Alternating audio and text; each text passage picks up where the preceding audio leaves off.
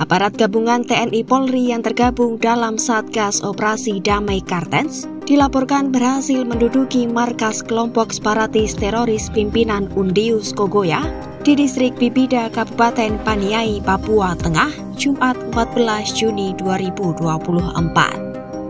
Tak hanya menduduki markas KST, dalam operasi itu aparat juga menyita berbagai barang bukti berupa drone dan amunisi. Aparat juga menyita tujuh telepon genggam, satu buah HT, delapan atribut KST, serta berbagai senjata tajam di antaranya enam tombak dan empat sangkur. Kepala Operasi Damai Kartens Kombes Pol Faisal Ramadhani membenarkan kabar tersebut pada Senin 17 Juni 2024.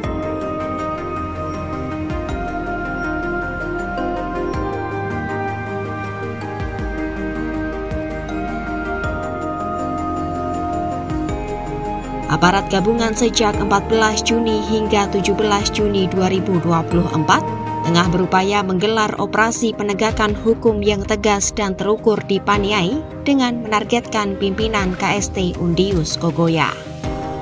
Operasi ini melibatkan personel gabungan TNI Polri yakni Polda Papua, Satgas Damai Kartens, dan Kodam 17 Cendrawasih.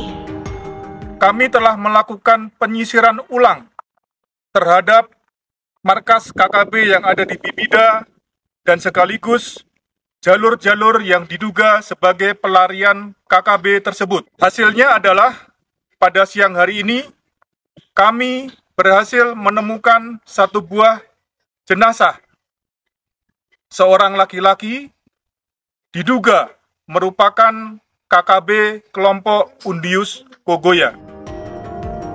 Sebelumnya, KST pimpinan Undius Kogoya sempat melakukan aksi teror dengan menembak seorang sopir angkot hingga tewas di kampung Timida Paniai Timur Kabupaten Paniai, Papua Tengah, Selasa 11 Juni 2024 lalu.